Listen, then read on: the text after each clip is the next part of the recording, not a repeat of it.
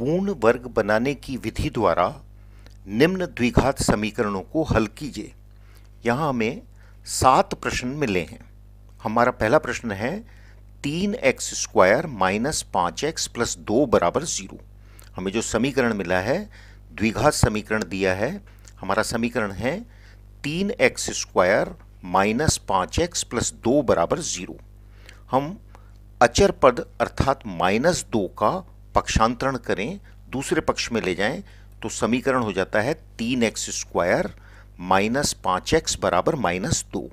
हमारा समीकरण, यदि हम अचर पद को दूसरे पक्ष में ले जाते हैं तो समीकरण हो गया तीन एक्स स्क्वायर माइनस पाँच एक्स बराबर है माइनस दो। अब हम एक्स स्क्वायर का जो गुणांक है, वो पाते हैं कि यहाँ समीकरण में है तीन। एक्स स्क्वायर का गुणांक क्या है? तीन।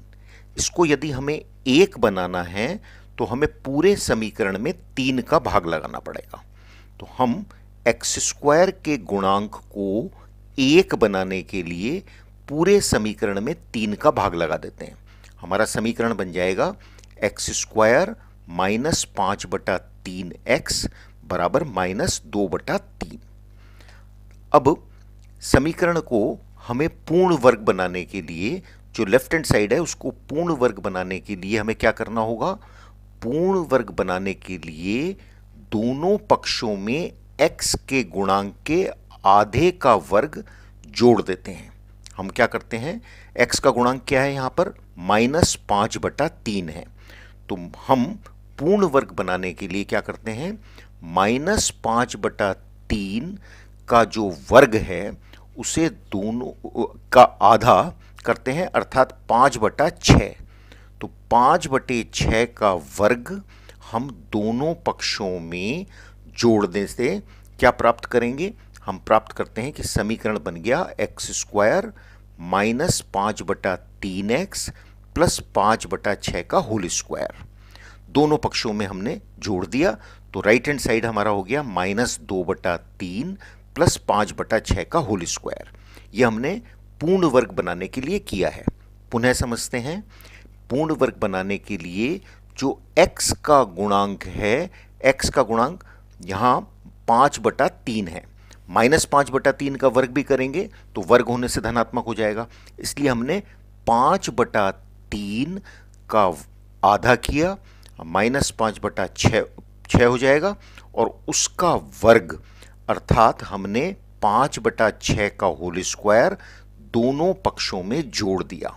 माइनस पाँच बटा छः का वर्ग भी हम जोड़ सकते हैं, क्योंकि स्क्वायर होने से वो मान धनात्मक हो जाएगा। तो यहाँ हमने पाँच बटे छः का स्क्वायर दोनों पक्षों में जोड़ा है। अब लेफ़्ट हैंड साइड हमारा एक पूर्ण वर्ग बन गया है। लेफ़्ट हैंड साइड हमारा एक पूर्ण वर्ग बन गया है।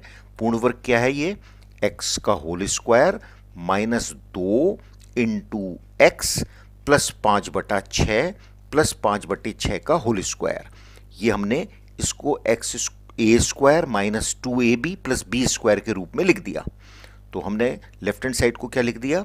एक्स का होल स्क्वायर माइनस दो गुणा एक्स प्लस पाँच बटा छः। ये मान कितना होता है? माइनस पाँच बटा तीन एक्स होता है। और ये हमारा पाँच बटा छः का whole square as it is है। राइट हैंड साइड को देखें। ये माइनस दो बटा तीन पाँच बटे छः का होल स्क्वायर अर्थात पच्चीस बटा छत्तीस। ये मान हो गया। तो पूर्ण वर्ग क्या बन गया ये? ये बन गया x माइनस पाँच बटे छः का whole square. Left hand side हमारा पूर्ण वर्ग बन गया, परफेक्ट स्क्वायर हो गया x माइनस पाँच बटे छः का whole square. Right hand side लघुत्तम क्या आएगा? तीन और छत्तीस का लघुत्तम आया छत्तीस। अंश में हम क्या प्राप्त करेंगे? तीन का भाग लगाएँगे छत्तीस में तो आएगा बारह। बारह जब दो से गुणा होगा तो आएगा माइनस चौबीस। प्लस छत्तीस में छत्तीस का भाग लगाया एक एक को जब हमने पच्चीस से गुणा किया तो आया पच्चीस। अर्थात अंश हमारा हो गया माइनस चौबीस प्लस पच्चीस बटा छत्तीस, जो मान आता है एक बटा छत्तीस के बराबर। तो x माइनस पाँच बटे छः का होल स्क्वायर एक बटा छत्तीस के बराबर है। दोनों पक्षों में अब हम वर्गमूल लेते हैं। तो वर्गमूल लेने से दोनों पक्षों में हमें क्या प्राप्त होगा?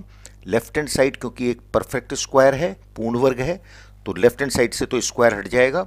ये मान हो जाएगा x माइनस पाँच बटा छः। राइट हैंड साइड क्या हो जाएगा? प्लस माइनस एक बटा छः।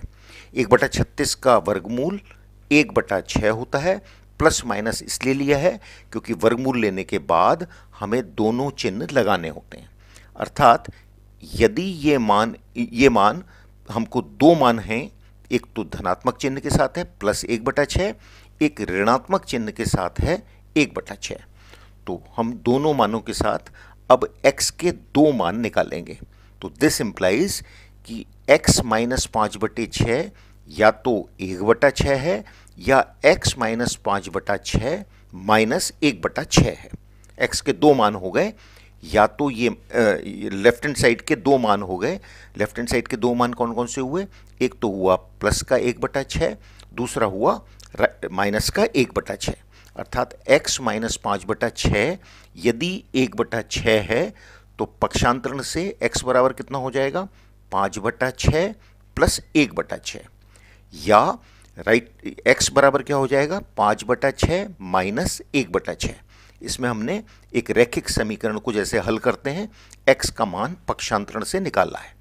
अब हल करें तो x बराबर हो गया छः बटा छः या x बराबर हो गया चार बटा छः हल किया हमने तो क्या प्राप्त किया कि मान आता है x बराबर एक या x बराबर दो बटा तीन। छः बटा छः एक होता है, चार बटा छः सरल करने से आता है दो बटा तीन। तो इसलिए दिए गए समीकरण के दो मूल हो गए एक और दो बटा तीन।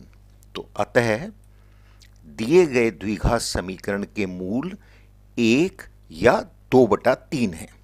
तो हमने दिए गए पहले प्रश्न का तीन एक्स स्क्वायर माइनस पाँच एक्स प्लस दो बराबर ज़ीरो का पूर्ण वर्ग बनाने की विधि द्वारा हल ज्ञात किया और हम पाते हैं कि दिए गए द्विघात समीकरण के दो मूल हैं, एक और दो बटा तीन।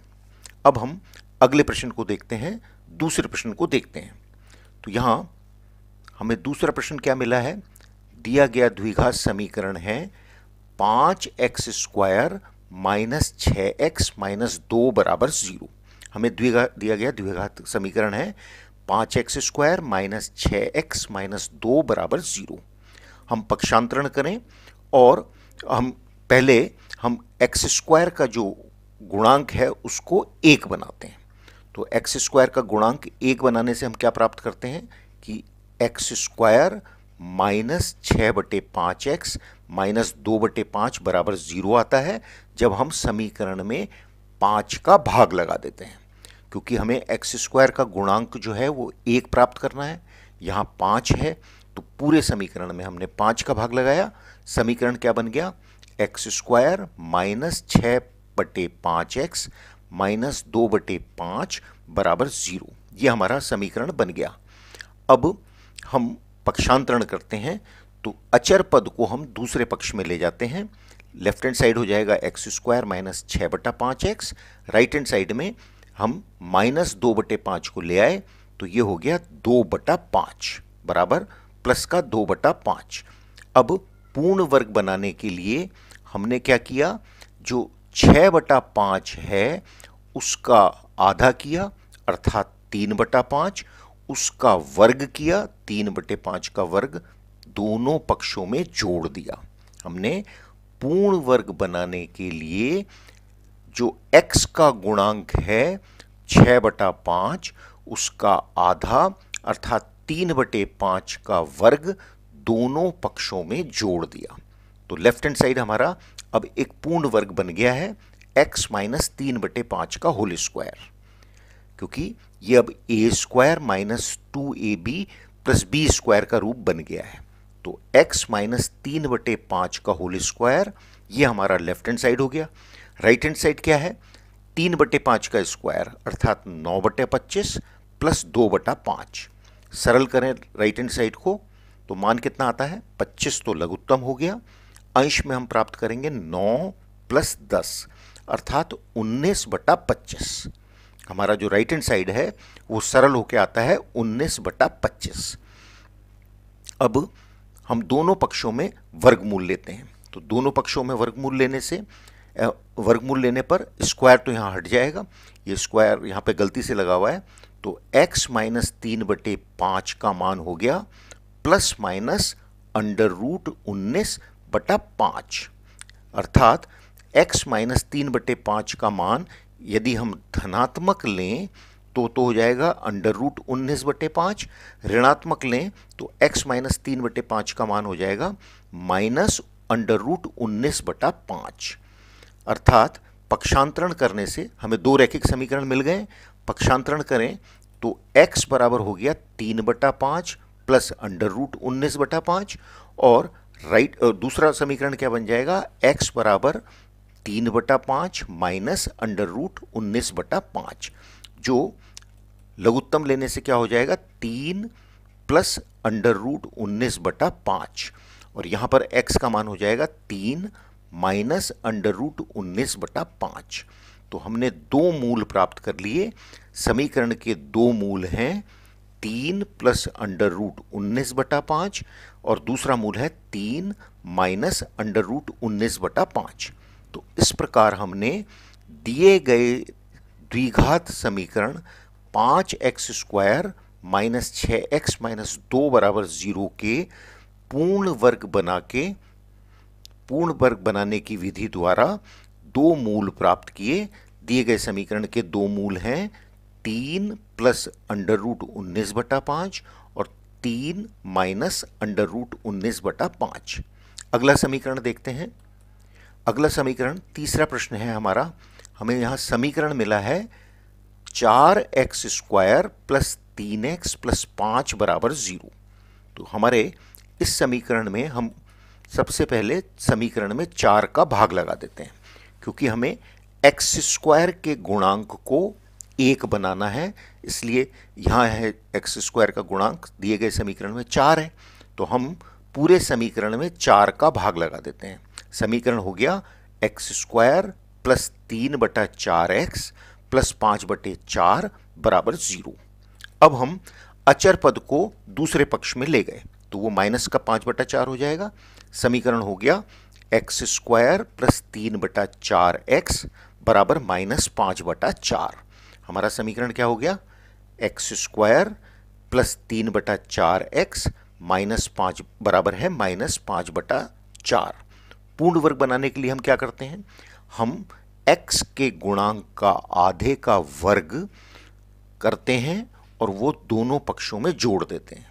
तो x का गुणांक है यहाँ तीन बटा चार उसका आधा किया तो वो हो गया तीन बटा आठ, उसका वर्ग किया तो वो हो गया तीन बटे आठ का स्क्वायर। वो हमने दोनों पक्षों में जोड़ दिया। तो यहाँ लेफ़्ट हैंड साइड तो अब क्या हो गया? एक्स स्क्वायर प्लस तीन बटा चार एक्स प्लस तीन बटे आठ का स्क्वायर। राइट हैंड साइड हमारा हो गया तीन बटे आठ का स्क्वायर माइनस पाँच बटे चार। पूर्ण वर्ग बनाने पर हम ये प्राप्त करेंगे। अर्थात लेफ़्ट हैंड साइड हमारा क्या हो गया? X प्लस तीन बटे आठ का स्क्वायर राइट हैंड साइड को सरल करें तो तीन बटे आठ का स्क्वायर होता है नौ बटे चौंसठ माइनस पाँच बटा चार। चौंसठ लघुत्तम हो गया। अंश में हमने प्राप्त किया नौ माइनस अस्सी। जब चार में हम चौंस, चौंसठ में हम चार का भाग लगाते हैं तो सोलह आता है, और सोलह पाँच से गुणा होगा तो यह आ जाएगा अस्सी। तो अंश हो जाएगा नौ माइनस अस्सी। मान आया माइनस इकहत्तर बटे बटे चौंसठ। अब ऋणात्मक संख्या हम प्राप्त कर रहे हैं माइनस इकहत्तर बटे चौंसठ, जो कि ज़ीरो से छोटी होती है। ऋणात्मक संख्या ज़ीरो से छोटी होती है, ये मान लेस देन ज़ीरो है। अब ये मान संभव नहीं है किसी वास्तविक संख्या के लिए। क्यों? क्योंकि कोई भी हम संख्या का जब पूर्ण वर्ग करते हैं पूर्ण वर्ग सदैव धनात्मक होता है। यहाँ x प्लस तीन बटे आठ का स्क्वायर एक ऋणात्मक संख्या आ रही है। लेस देन ज़ीरो हम प्राप्त कर रहे हैं। अर्थात इस समीकरण के मूल, वास्तविक मूल नहीं होंगे। तो क्योंकि किसी संख्या का पूर्ण वर्ग ऋणात्मक नहीं हो सकता है, अतः x का कोई वास्तविक मान समीकरण को संतुष्ट नहीं करेगा, इसलिए समीकरण का कोई वास्तविक हल नहीं है। समीकरण का हल होगा, काल्पनिक हल होगा, इसलिए इस समीकरण का कोई वास्तविक हल नहीं है। पुनः इस बात को हम समझते हैं। X प्लस तीन बटे आठ का स्क्वायर यहाँ हम राइट हैंड साइड में पाते हैं कि एक ऋणात्मक संख्या आई है माइनस इकहत्तर बटा चौसठ। क्योंकि यहाँ तो लेफ़्ट हैंड साइड में तो एक पूर्ण वर्ग है, राइट हैंड साइड में एक ऋणात्मक संख्या आ गई। किसी भी संख्या का पूर्ण वर्ग ऋणात्मक नहीं हो सकता है।